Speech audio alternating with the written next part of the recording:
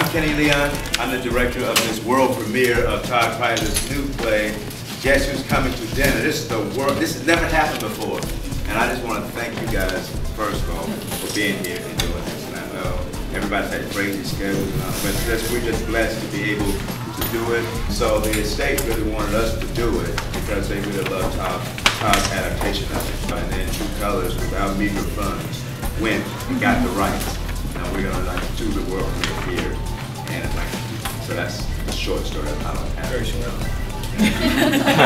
but uh, this is what was supposed to happen. So it's all good.